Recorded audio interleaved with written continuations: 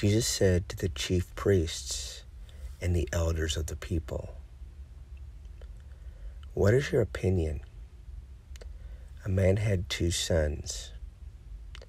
He came to the first and said, Son, go out and work in the vineyard today.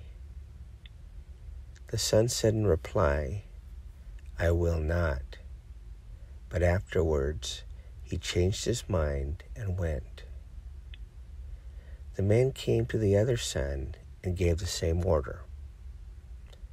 He said in reply, Yes, sir, but did not go. Which of the two did his father's will? They answered, The first. Jesus said to them, Amen, I say to you. Tax collectors and prostitutes are entering the kingdom of God before you.